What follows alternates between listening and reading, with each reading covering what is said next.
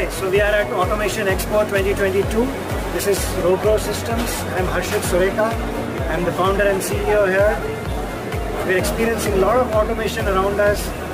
We are focusing on the camera-based part of it. We developed an artificial intelligence solution to identify objects in images.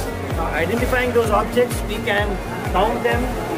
We can identify each object and do some kind of counting. And if we do some kind of sorting, we can do sorting when we are identifying any defects in the objects. This way we have developed the Kiara Vision Controller. That's the, an edge device that can process data, process images and identify parts in them, identify defects, do sorting. And through the Kiara Vision Controller, we are changing what machine vision can do.